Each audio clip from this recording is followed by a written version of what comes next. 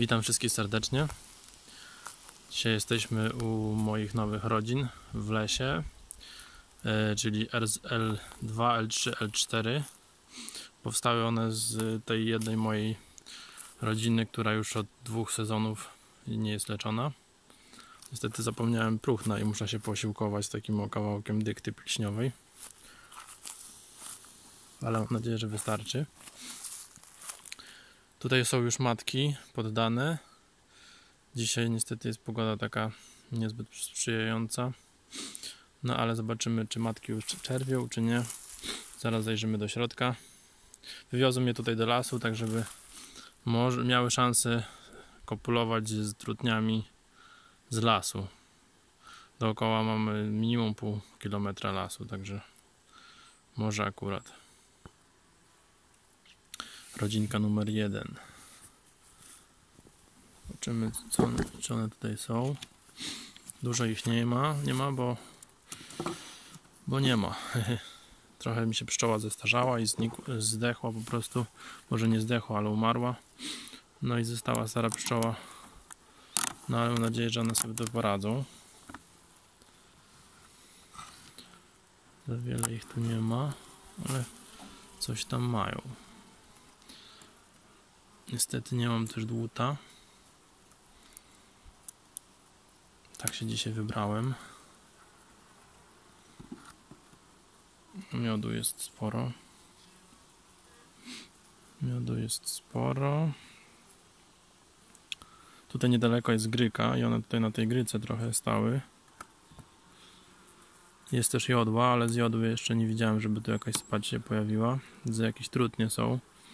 Także może coś tu było. Matki na razie nie widzę.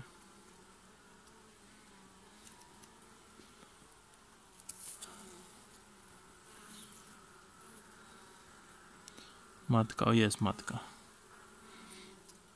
No już widać, że ona, ona już się unasieniła. Widać, że unasieniona i ona już będzie czerwić niedługo. Może na następnej ramce już zaczęła czerwić. Także jest spoko. Nie jakiś mały karakan. Tylko normalna matka. Wydaje mi się, że ona tu już coś zaczęła czerwić.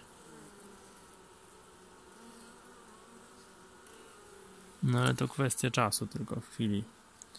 I ona to na pewno zaczerwi. Troszkę tych pszczół jest mało, będę musiał je zasilić pewnie jakimś czerwiem. Tak mi się wydaje.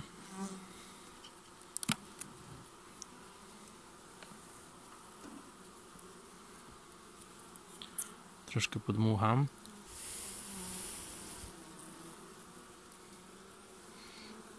Tak, tutaj już jest pozaczerwione.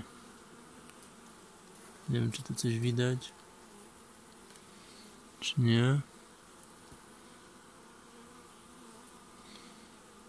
Musicie mi uwierzyć na słowo, że tam już jest zaczerwione. Także ta rodzinka jest ok. Zaraz przejdziemy do rodziny numer dwa. Tak, i mamy rodzinę numer dwa. Zobaczymy co tutaj. Tutaj jest trochę więcej pszczoły. Także dobrze, spoko. Tutaj mamy te ocieplenia słomiane, oczywiście one pełnią bardzo podwójną funkcję. Po pierwsze ocieplają, po drugie tam stanowią jakieś siedlisko różnych żyjątek. Tutaj też mamy sporo miodu. O, szramka ciężka. Elegancki miodzik. Będą miały na czym, na czym się rozwijać te odkłady. A tutaj jakiś jeszcze jest. Co my tu mamy?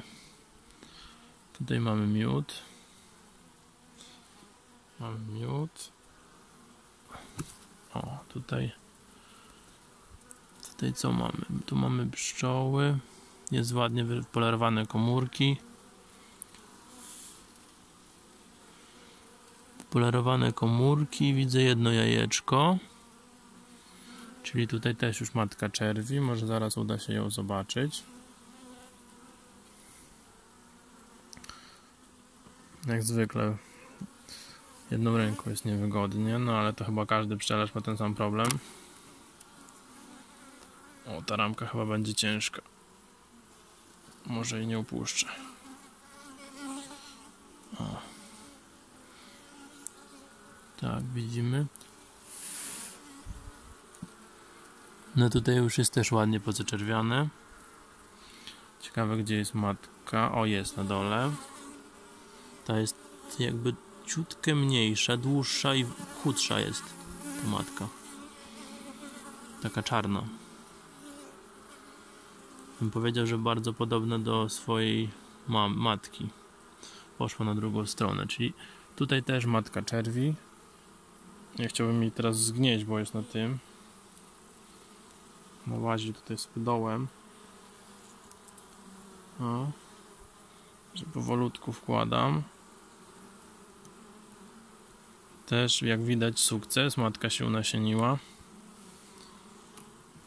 Jeść mają, nic im tu nie trzeba więcej robić.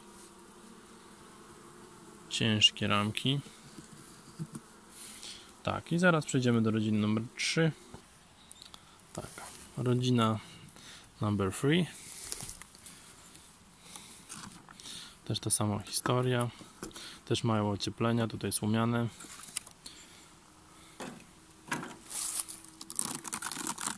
No, czyli wychodzi na to, że ta pierwsza jest troszkę najsłabsza są, ale tam wiadomo, trochę pszczoły jest w polu. To nie jest problem w sumie, aby matki czerwiły.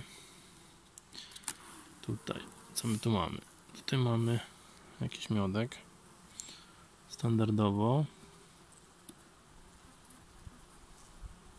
No tutaj z tego matecznika wygryzła się matka. I tutaj widać jest nakrop lekki.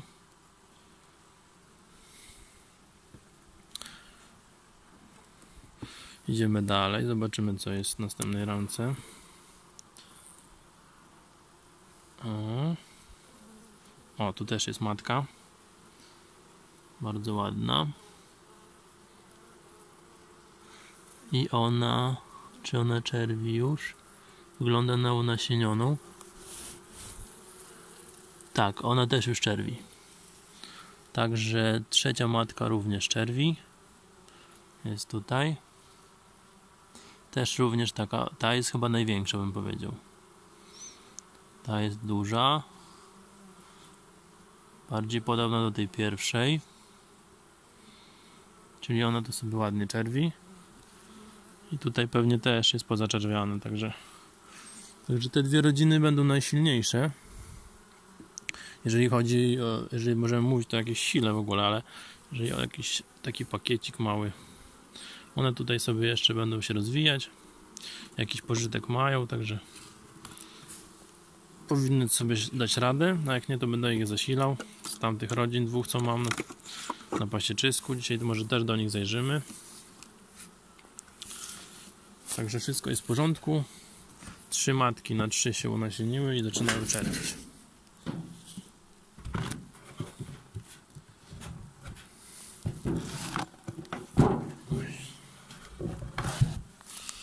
Czy jest wszystko w porządku? Rodziny w lesie. Jestem ciekawy, jakie tu trudnie je dopadły te matki. Niestety nie mam możliwości sprawdzenia. Wszystko się okaże, co to będą za pszczoły potem. No, z tego, co teraz widzę, to jeżeli chodzi o tą pierwszą matkę, która żyje bez leczenia, no to rok temu powstał z niej odkład. Ten odkład jest już teraz silną rodziną, ale jest taki problem, że przez cały rok nie naniosły praktycznie nic miodu, żyją tylko tyle o ile, mają parę gram miodu tylko no, jakieś małe paseczki. No i ciekawy jestem, czy one w ogóle dadzą radę to nazbierać do zimy tego pokarmu. Możliwe, że trzeba będzie je podkarmić bardzo mocno. No ale no co tu dużo wymagać. Na razie, aby przeżywały, a potem będziemy się martwić, co z miodnością tych pszczół. Tutaj jest fajny klimat. Dookoła jest jodła. Możliwe, że pojawi się jakaś spadź.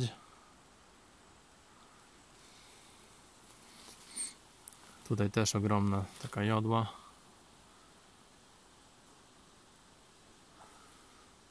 No i na razie tyle. chyba z dzisiejszego filmu. Zajrzymy jeszcze co u rodzin tamtych na pasieczysku. O tutaj też jodła. Także dziękuję za uwagę wszystkim.